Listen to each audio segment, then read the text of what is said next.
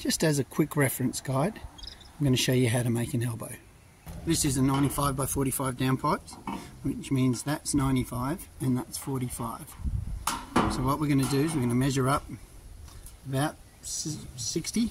We're just going to put a line across it.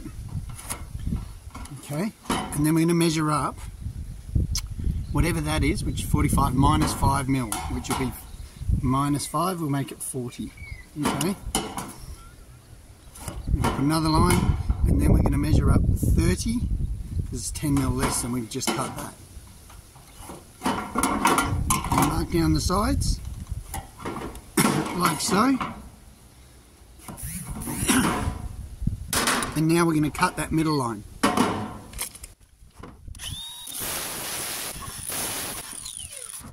We cut the big one as low as we can without obviously going stupid on a diagonal up to the line. As you can see there, I'm just cutting straight across.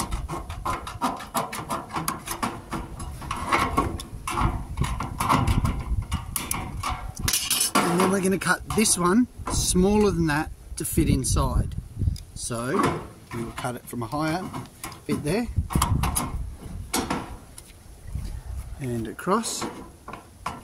Sorry, I'm cutting it a little bit strange for you because I want you to see it. Normally I would move the downpipe and down. Okay, now we're going to squeeze in these two tags here, one, two, and lift that like so. And that fits into there, like so. We're going to put in a rivet to each side.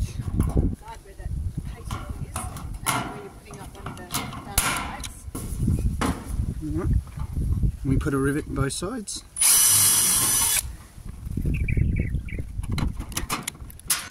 And that's it, it's done. Now all you're going to do is from here down, we're going to measure under the eave and we're going to cut the length. So there you have it, all done and all dusted. And if you want a longer form on how to do this, uh, have a look at how to make a downpipe and install it. Like and subscribe if you enjoyed it.